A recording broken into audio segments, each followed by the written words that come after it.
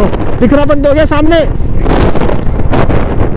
ये जो पूरी पहाड़ी दिख रही है इसी के ऊपर जोशीमठ बसा हुआ है और एनटीपीसी नीचे। तो बोलते हैं पागल नाला और ये वास्तव में पागल ही नाला है इतने बड़े बड़े होटल है इमारत में पर यहाँ देखिए रेड निशान लगा दिया गया है यानी ये खतरे की जद में है।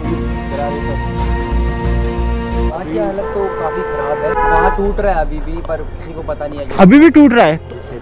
सेब जोशीमठ असली चैलेंज देखने को मिलेगा मानसून में। बिल्कुल ठीक नहीं है वही बताने यहाँ पे तो रोड की कंडीशन बहुत अच्छी लग रही है।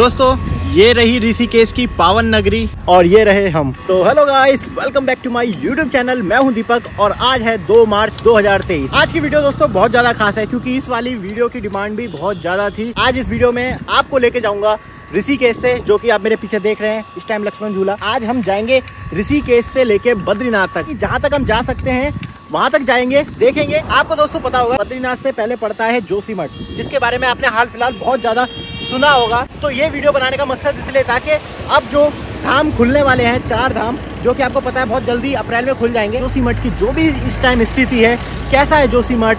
रिस्क में है रिस्क से बाहर है, वहाँ पे मतलब क्या बैलेंस है? सब कुछ वहाँ पे जोशी मठ के बारे में जानेंगे। वीडियो ये लंबी हो सकती है दोस्तों तो वीडियो को पूरा ज़रूर देखेगा और सारी वीडियो ये बाइक पे होने वाली है, क्योंकि मोटर ब्लॉग होने वाला है।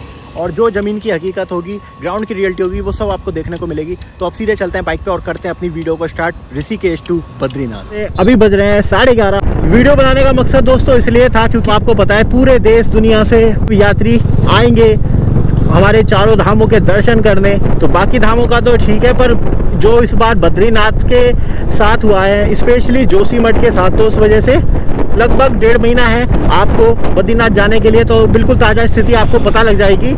कि कितना सही है, वहाँ अभी आना और चीज़ें कंट्रोल में है बैलेंस है मतलब जो भी है, बहुत सारी की बातें हैं। क्योंकि हज़ार आप वीडियो देखोगे यूट्यूब पे तो मतलब कन्फ्यूज़ ही ज़्यादा आपको करते मिलेंगे। कोई बताएगा कि अभी बुरा हाल है तो कोई बताएगा अभी बिल्कुल ठीक है। तो खुद जाके देखना, सबसे बेस्ट होता है। तो मैं इसलिए मैं जा रहा हूँ आप लोगों को ले जाने। पर यहाँ देखिए, अभी से ही जाम लगना शुरू हो चुका है। लगभग चार धाम बंद है, पर फिर भी गाड़ियाँ बाहर की आई जाती हैं। और ये वाली जगह को बोलते हैं नीलगट्टू। नीलगट्टू झरना, लंबा सा जाम लगा हुआ है यहाँ पे। ये आपको पता है, रेलवे का काम चल रहा है, जो चार धाम रेल लाइन प्रोजेक्ट है तो उसकी वजह से भी जाम बहुत लग रहा है, और स्पेशली अब आपको पता है, गर्मी बढ़ने लगी है, गर्मी तेज हो गई है तो इस वजह से क्या है, राफ्टिंग बढ़िया चल रही है इस टाइम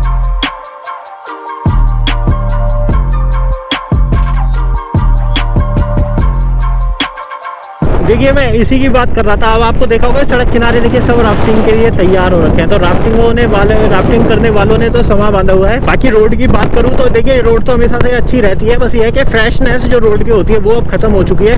क्योंकि रोड बने हुए अब हो चुके हैं, दो ढाई दो तीन साल हो चुके हैं और लगातार लैंडस्लाइड होती रहती है। ऋषिकेश से लेके देव ट्रैक के बीच, इस रोड पे सबसे ज़्यादा लैंडस्लाइड होती है। सबसे ज़्यादा अगर लैंडस्लाइड के पॉइंट है तो इसी रोड पे आपको मिलते हैं। और दोस्तों, बहुत वीडियो में मेहनत लगती है। आप लोग देखते हो, अकेले ऐसे जाना, ऐसे वीडियो बनाना। तो आप लोगों से प्यार की उम्मीद रखते हैं, आप लोगों से सपोर्ट की उम्मीद रखते हैं। मतलब आप चैनल को सब्सक्राइब ज़रूर कर दीजिए, क्योंकि इसमें आपका तो कुछ भी नहीं जाएगा आपके लिए बहुत मामूली सी बात है, पर उससे मुझे बहुत मोटिवेशन मिलता है।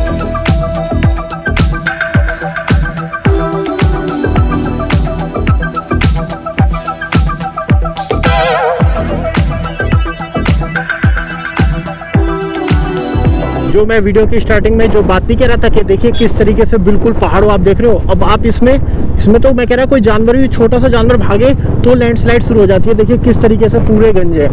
तो ये यहाँ यहाँ तक पूरा आधी सड़क तक तो ये मलबा इकट्ठा हो जाता है, फिर इसे धीरे धीरे करके हटाया जाता है। अब लगभग सब हटा दिया गया ये है ब्यासी। ब्यासी का ये रेलवे स्टेशन बनेगा। जो आपको मैंने बताया था ना चार धाम रेल लाइन प्रोजेक्ट उस बारे में मैंने बहुत सारी वीडियो बनाई हुई है। तो उसका एक मेन स्टेशन अंदर स्टेशन यहीं पर तैयार हो रहा है और टनल वगैरह का काम बहुत हो रहा है तेज़ी से। आने वाले टाइम में कर्ण प्रयाग तक तो आप सिर्फ़ रेल के माध्यम से ही पहुँच जाएँगे।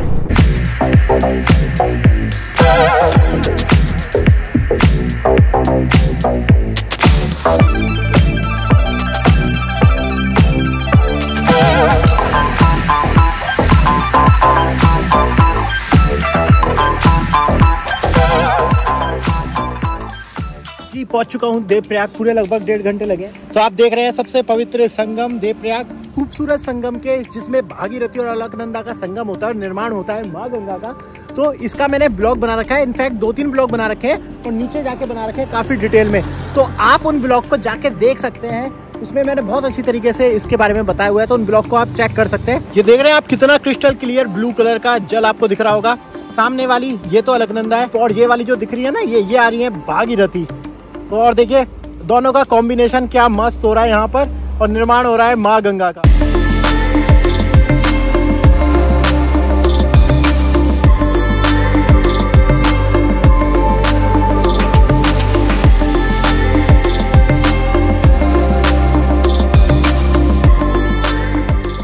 देवप्रयाग से तो निकल चुके हैं और ये वाला रास्ता है ये भी सीधा चला जाता है। अगर आपको जाना है टीरी तरफ़ तो ये रोड अंदर को चली जाती है और इस वक्त हम निकल रहे हैं भागीरथी के ब्रिज से। और ये यार, ये मेरा लूज हो गया, इसको भी मैं टाइट कराऊँगा, देखिए।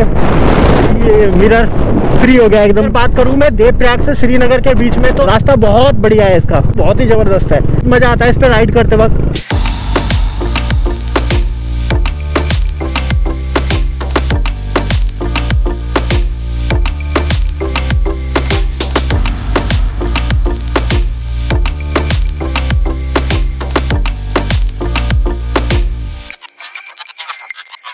यहाँ से रह गया है अभी श्रीनगर, पाँच सात किलोमीटर। बाइक का काम कराते हैं।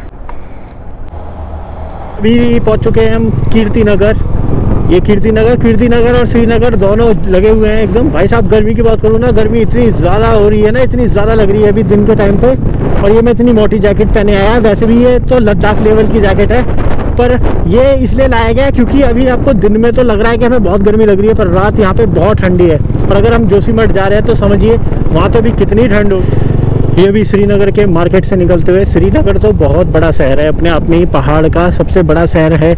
इस रूट पे आपको मैं अगर कहूँ तो जब आप ऋषिकेश से आते हो, बद्रीनाथ चाहे केदारनाथ, और ये अंकल देखो देखो देखो देखो। देखो पहाड़ों पे कभी हो सकता है। कुछ भी का मतलब कभी कोई जाम, कभी कोई जाम। और ये वैसे भी सिटी के अंदर से निकलता है तो यहाँ पे तो मेरे हिसाब से एक बाईपास की भी ज़रूरत थी। पड़ेगी, जैसे रुद्रप्रयाग से बाईपास बनाया ना, मुझे ऐसा लगता है कि श्रीनगर से भी बाईपास जल्दी दिया जाएगा।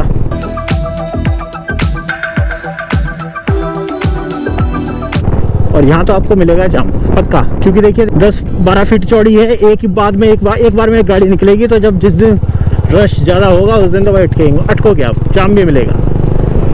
पर बाकी ओवरऑल सड़क अच्छी है 98 परसेंट पूरी अच्छी लग रही है। कुछ कुछ ही पॉइंट है। जी, पहुँच चुके हैं अब धारी देवी में, जो कि है रुद्रप्रयाग से लगभग 20 किलोमीटर पहले श्रीनगर और रुद्रप्रयाग के बीच में पड़ती है ये धारी देवी। और इनके बारे में कहा जाता है दोस्तों कि ये उत्तराखंड की सबसे जागृत देवी हैं। और जो चार धाम है ना हमारे, बद्रीनाथ, केदारनाथ, गंगोत्री, यमुनोत्री, उनकी संरक्षक हैं ये देवी। और इनके बारे में मैंने वीडियो बना रखी वीडियो आपकी हर जगह की बना रखी है। आपके भाई ने ना सब जगह वीडियो बना रखी है।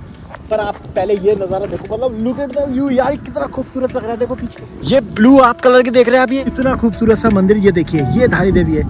और ये आपको जो चारों तरफ़ दिख रही है नीली कलर की ये ये है अलकनंदा। अल्टीमेट यार अल्टीमेट अभी अपना टास्क है जोशीमठ पहुँचने का। धारी माँ की वीडियो मैं आपको बनाऊँगा जब लौटते वक्त हम आएँगे तब इस मंदिर की दोबारा वीडियो बनाऊँगा।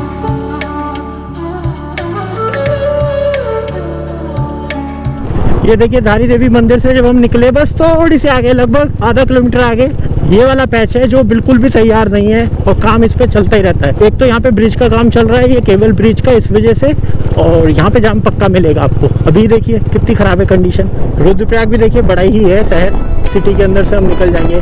मैंने रुद्रप्रयाग की एक पूरी सीरीज़ बनाई हुई थी, रुद्रप्रयाग में क्या क्या खास है, वो भी आप देख सकते हो। ये रुद्रप्रयाग पीछे से सिटी क्रॉस कर दिया, पीछे ही संगम है, जहाँ पे अलकनंदा और मंदाकिनी का होता है संगम।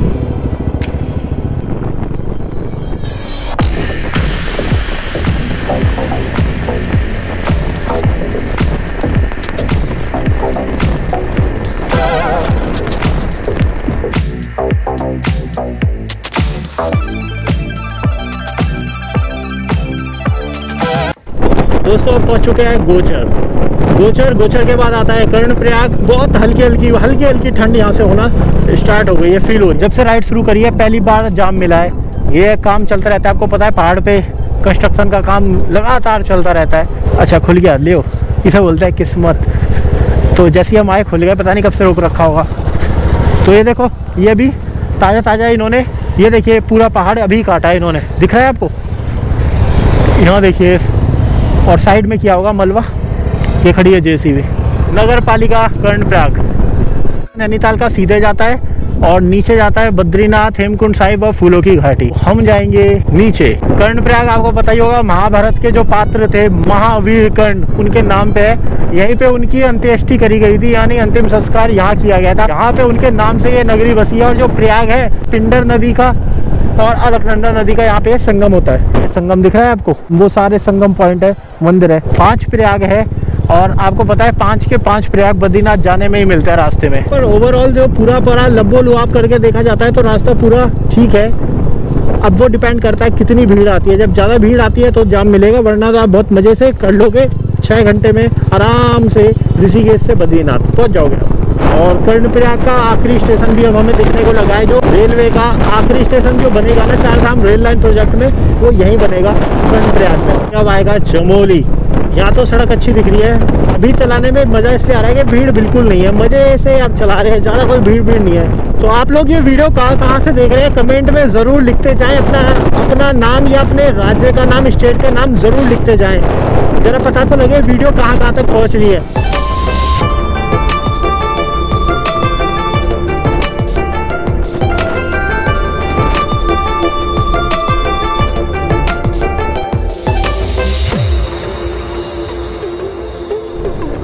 इस तरीके से कटिंग का काम चलता रहता है बीच बीच में, वो गिरा रही है मलबा। अब दूसरी जेसीबी क्या करेगी? रास्ते को क्लियर बनाएगी। और दोस्तों, ये आ चुका है नंद प्रयाग एक और संगम, एक और प्रयाग। अलकनंदा और नंदाकनी वाला प्रयाग। वहाँ पे तो भी है सड़कों की कई कई जगह पे सड़क अच्छी है कई कई जगह पे ऐसे ही है।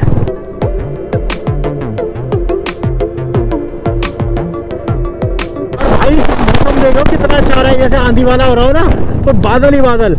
और मैं यहाँ पे ये भी देख रहा हूँ कि ग्रीनरी यहाँ आगे बढ़ गई है। जैसे भी नीचे सूखे पहाड़ से ना मतलब मौसम इस मौसम में पेड़ों से सारे पत्ते झड़ जाते हैं। पर ये देखिए क्या खूबसूरत ये ग्रीन पहाड़ ये ना सदा बाहर पेड़ और वही जो पहाड़ों की फील होती है पहाड़ों की वाइब्स होती है वो यहाँ पे आके मिलना शुरू हो गई। पूरी पाई खिला दी इनने तो। अरे अरे अरे अरे अरे भैया कहाँ गिराई गई है? दिखना बंद हो गया सामने। अरे। यहाँ तो रोड भी खराब है, यहीं पे आंधी चल रही है। बिल्कुल बिल्कुल मतलब मैं कह रहा मिट्टी का ढेले है ये, मिट्टी के ढेले। इन पे ऐसा कुछ भी नहीं है, ऐसा कोई जैसे कोई ठोस कोई वो नहीं है, देखिए मिट्टी के ढेले के ऊपर खड़ी हुई सड़क है तभी तो धस जाती है ये बारिशों में। बिल्कुल सूखी मिट्टी नीचे तक और नीचे ही नदी बह रही है। लो भैया, ये आ गए हम चमोली में। खाली खाली सा लग रहा है अभी तो। तो कुछ चमोली ऐसा नज़र आता है, देखिए कितना खूबसूरत है। और ये बादल दिख रहे हैं काले काले ये यहीं पे आके हो गए तो इन्होंने मुझे कंफ्यूज कर दिया जाए कि आगे जाया जाए कि नहीं। और नीचे है अलकनंदा। देखिए वो रही अलकनंदा नीचे। कुछ ऐसा लिखता है। तो धारी देवी के बाद यहाँ पे लिया है स्टॉप यहाँ पे रुका हूँ लगातार गाड़ी चला रहा था दो ढाई घंटे हो चुके हैं। तो चमोली से हम निकल चुके हैं अब यहाँ से रह जाता है पचास किलोमीटर। और जो सीनिक ब्यूटी है वो यहाँ से स्टार्ट हो जाती है एक्चुअल में। जो बद्रीनाथ का रास्ता है मतलब बद्रीनाथ धाम है ना तो चारों धामों में अगर मुझे सबसे अच्छा कोई लगता है ना रास्ता वाइज मतलब ऐसे पहाड़ मिलते हैं ना बद्रीनाथ में, जो आए होंगे वो मेरी बात से एग्री करते होंगे कि ऐसे पहाड़ मिलते हैं मतलब सीधे खड़े होते हैं और ऐसा लगता है सिर पे मतलब केदारनाथ वगैरह सबके हैं, पर इस तरीके के पहाड़ नहीं दिखते जैसे बद्रीनाथ के दिखते हैं। और वो भी कब, जब आप जोशीमठ तपोवन के आगे निकलते हो ना, उसके बाद जो शुरू होता है, भाई साहब, मज़ा आ जाता है। और देखिए इस तरीके से ये रात में गिरे होंगे पत्थर आके। देखिए, बिल्कुल ताजे पत्थर गिरे हैं रोड पे आके। तो ये बस ये खतरा रहता है पहाड़ों पर। जिस तरीके से देख रहे हैं आप, पत्थर ही पत्थर बिछे हुए और ये ऐसा ही हुआ होगा, रात को कोई जानवर भागा होगा छोटा मोटा तो उसके चलने की वजह से गिरे हैं ये पत्थर। तो बस ये डर रहता है पहाड़ों पे।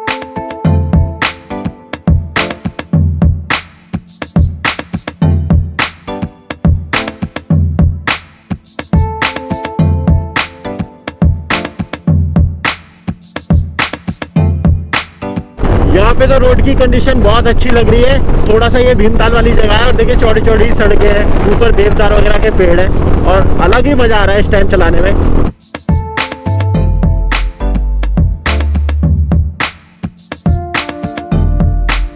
और अब देखिए वो खतरनाक से रास्ते। पहले जो आते थे ना, जब ये ऑल वेदर रोड का काम नहीं हुआ, मैं आया हूँ बस से और एक बार गाड़ी से, भाई साहब, तब देखते रास्ता।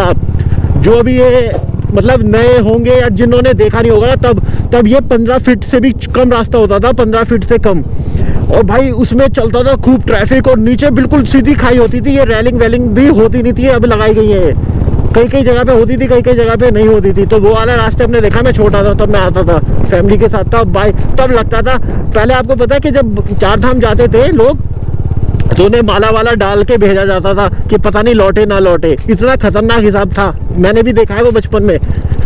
बाद में ये सड़कें बनी है तो अब रास्ता ऐसा हुआ है कि अब मतलब बच्चे भी बाइक चला लेते हैं यहाँ पे, वरना पहले तो ट्रेन लोग आते थे, वो ऐसी गाड़ी चलाते थे आज नया आदमी प्लेन से आके तो चला ही नहीं सकता था गाड़ियाँ बहुत मुश्किल होता था। ये देखिए। कैसे अभी सड़कों पे मलबा पड़ा है, काट के आया है या जो भी है, और देखिए बस बिल्कुल सीधी खड़ी है नीचे। अगर मैं आपको यहाँ से दिखाना चाहूँ, खतरनाक रास्ता क्यों बोला जाता है? देखिए किस कॉर्नर पे खड़े हैं। और अब आप ये देखिए, जैसे एक वॉल खड़ी होती है ना, सीधी उस तरीके के, हम जैसे किसी वॉल के ऊपर खड़े और नीचे आपको दिख रही है खाई, लगभग 200-250 मीटर गहरी। ये अभी भी, ये पुरानी पुरानी जगह है ना तो ये थोड़ा थोड़ा सा बची है मेमोरी दिखाने को। वो एडवेंचर थोड़ा कम हो गया है। वरना तो कोने पे चलती थी गाड़ी ऐसे कॉर्नर पे बिल्कुल टायर आ जाते थे और चीखे निकल जाती थी लोगों की।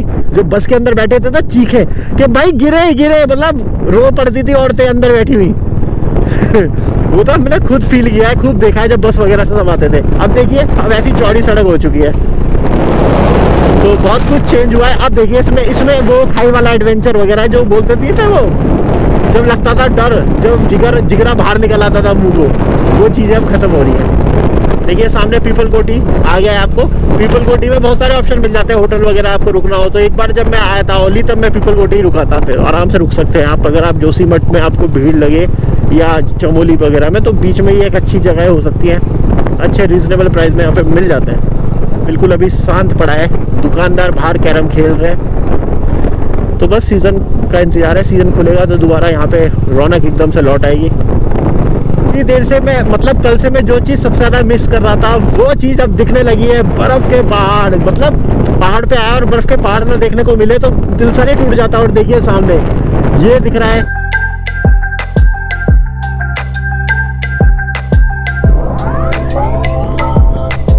दोस्तों देखिए, अब जोशीमठ यहाँ से रह गया लगभग 20 किलोमीटर और अब वही चीज़ें दिखना मुझे तो शुरू हो गई है। देखिए, लिखा हुआ है ना सिंकिंग जोन हल्की हल्की आप देखिए, सड़क बैंड बैठ रही है या बैठ चुकी है, देखिए, आपको दिख रही है दरार ये सब। यहाँ पे झंडे वगैरह लगाए, देखिए, ये पूरी ये सड़क, ये बनी थी ये चार धाम में, अंदर चली गई है ऐसे। ये हल्की हल्की धसना शुरू हो गई है। ये देखिए दिख रही है आपको दरारें वगैरह सब? ये देखिए, साइड में। साइड में जो रेलिंग है, वो तक नीचे बैठ गई है। थोड़ा सा और आगे बढ़ते हैं, तब ये वाली जगह आ जाती है, इसको बोलते हैं पागल नाला। और ये वास्तव में पागल ही नाला है भाई, इसमें पानी ऐसा ऐसा चलता है कभी कभी तो कि गाड़ियाँ गाड़ियाँ निकल जाती है साथ में। ये बहुत बुरी तरीके से ऊपर से आता है। और ये हर बार आप रोड, कितनी बार भी बनती है, हर बार रोड तोड़ देता है, ये देखिए। और लैंडस्लाइड जोन पूरा प्रॉपर लैंडस्लाइड जोन है। यहाँ हर बार मतलब बारिश के मौसम में यहाँ पे पत्ता पक्का पक्का नीचे आता है लैंडस्लाइड और पागल नाला बोलते हैं ऐसे देखिए। खतरनाक है ये। और यहाँ पे सड़क बनाने का यही सोच रही है कि सरकार यहाँ से कुछ और विकल्प देखेगी। देखिए ऊपर, कैसे बड़े बड़े बोल्डर दिख रहे हैं आपको? ये और पूरा बाकायदा बारिश के मौसम में ना, अभी बारिश के मौसम में यहाँ पे पानी चलता है, तगड़ा वाला और पूरी वाटर क्रॉसिंग होती है अभी तो बिल्कुल सूखा मिल रहा है क्योंकि ऊपर झरने जमे होंगे।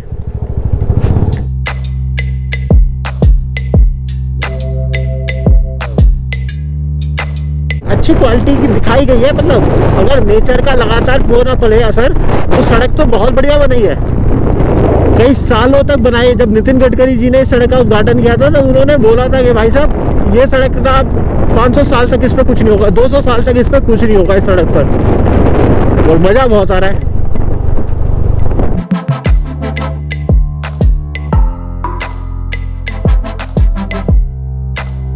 मतलब जो भी जोशी मठ में हो रहा है तो ये देखिए आप सामने पढ़ सकते हैं Tapovan Vishnugad hydro power project, NTPC.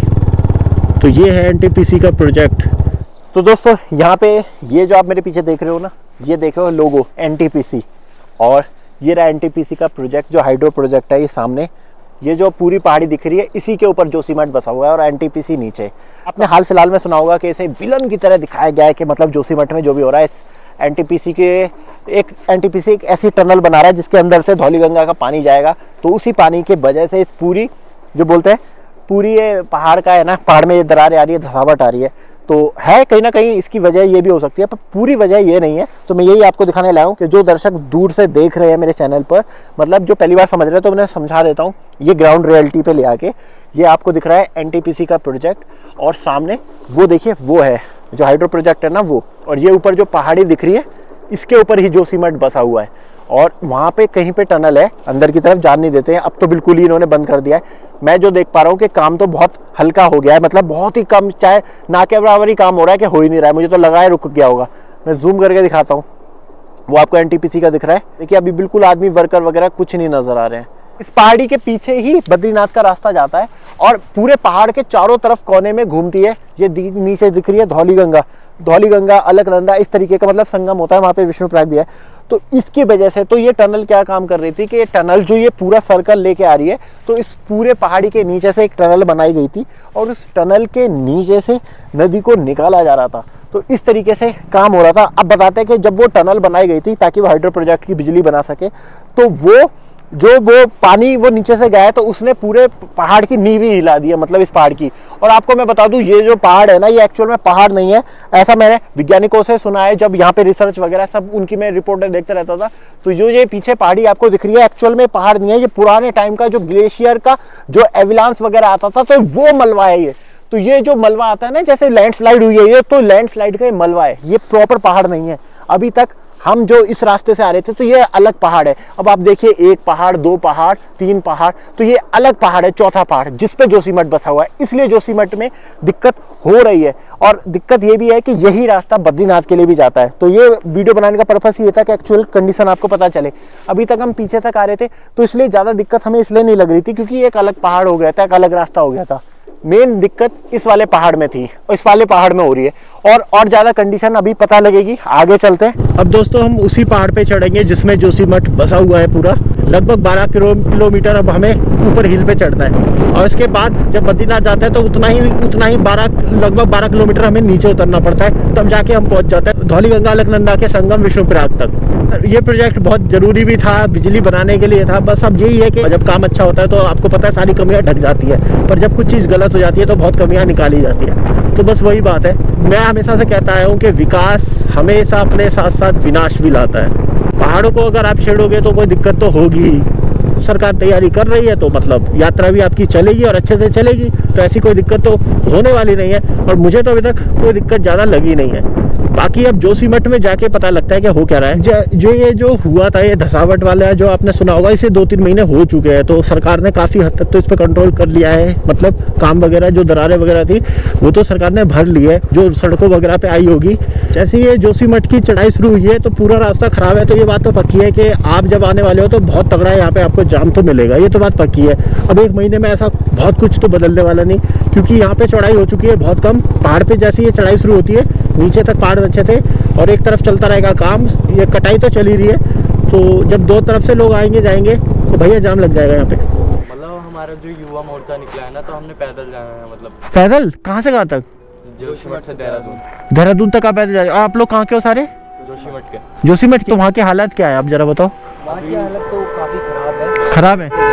अच्छा न्यूज़ चैनल नहीं दिखा रहे हैं? टूट रहा है अभी भी पर किसी को पता नहीं है अभी भी टूट रहा है? तो मतलब मैं अभी बात कर रहा था कहते अब तो थम गया है वगैरह। नहीं थमा। तो अभी स्थिति मतलब सच में वो है? तो आप लोगों की क्या डिमांड है? क्या मांगे? आप क्या चाहते हो? हम नहीं चाहते हैं कि सरकार हमारे लिए कुछ करे। आप लोगों के लिए? जैसे हम मतलब राशन वगैरह सबको पहुँचाए। अच्छा अच्छा अच्छा अच्छा। सबकी मदद करे सरकार। अच्छा अच्छा अच्छा अच्छा। सबने टी शर्टें पहनी हुई है ना? जिससे जोशी मठ। तो देखो, स्थिति कई ऐसे लोग हैं जो ऊपर ऊपर की बात बता देते हैं, पर ये लोग वहाँ के लोकल लोग हैं और ये देखिए अपनी समस्या लेके जा रहे हैं। तो आपकी क्या डिमांड है? मुख्यमंत्री से मिलने जा रहे हो आप? तो आपने कुछ खाया पिया? पैसे वैसे हैं आपके लोगों पास? है? पैसों की दिक्कत तो नहीं है कोई? तो अभी मतलब जैसे मैं और यूट्यूबरों की देख रहा था या वो की तो कह रहे थे, अब तो ठीक है, हालात हालात ऐसे ठीक नहीं है। बिल्कुल ठीक नहीं है वही बताने के लिए हम जो है ये पैदल मार्च देहरादून तक ले जा रहे हैं। अब ये पॉइंट पे हम जब पहुँचे तो हमें तो जाना है नीचे ये जो सिमट का रास्ता और ये गया ओली को। पर अभी तक मुझे वैसी कोई दिक्कत दिखी नहीं है। तो ये होटल वगैरह है लोग रुके तो हैं आए हैं लोग घूमने तो आए हैं ठीक है डर के साय में जियोगे तो जी नहीं पाओगे ये बात भी सच है। इसलिए जो दिल करता है वो कर लेना चाहिए। सब सब बढ़िया है। और ये अनकट यहाँ पे मैं इसलिए चला रहा हूँ कि आप पूरा समझ सकें। दिक्कत दोस्तों यहाँ से शुरू हुई है, ये है वो इलाका। अब यहाँ देखिए पूरा बैंड हो गया है।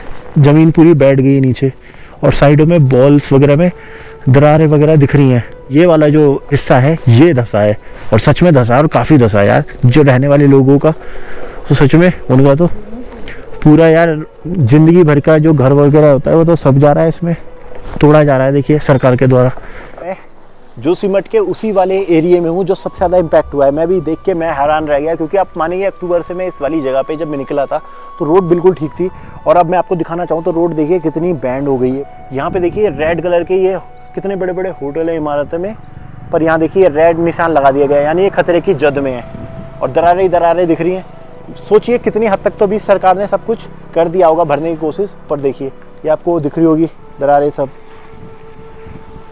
और देखने वाली बात है कि देखिए, नीचे नीचे तक ये जा रहा है जो हिस्सा पूरा। नीचे ये जितने सारे मकान है ना, इन्हें सबको हटाया जा रहा है। इनमें बहुत भारी भारी दरारें आई होंगी तो सबको अब सरकार हटा रही है सेफ्टी की वजह से। और नीचे देखिए, सब इम्पैक्ट तो पूरा खाली करा दिया है। और ये ऐसे स्लोप में। पूरी पहाड़ी आपको मैंने बताया, पूरी पहाड़ी इस तरीके से है स्लोप में। तो ऊपर से लगातार नीचे तक जब दरारें आई होंगी तो सारे मकान चटक गए होंगे इसमें। तो ये वाला हिस्सा देखिए, कुछ। और ये आज मैं दो मार्च को हाल दिखा रहा हूँ। जो सीमट। आसपास के लोगों से वगैरह से भी मैंने ऐसी बात हुई है। तो उनसे बात हुई थी तो उन्होंने कहा था, हाल फ़िलहाल तो अब धसावट बंद है। मैंने बोला ना मैं उनकी वैज्ञानिक की सुन रहा था, जो आईआईटी रुड़की से थे। उन्होंने कहा था, चैलेंज, असली शुरू कब होगा जब हज़ारों लाखों गाड़ियाँ यहाँ से निकलेगी पर डे? अभी क्या है, जितनी भी ये चीज़ें हुई हैं यहाँ पर, ये इस ऐसे टाइम पे हो रखी हैं कि जब सर्दी चल रही थी और लोग ज़्यादा नहीं थे। और सबसे बड़ी बात, असली चैलेंज देखने को मिलेगा मानसून में।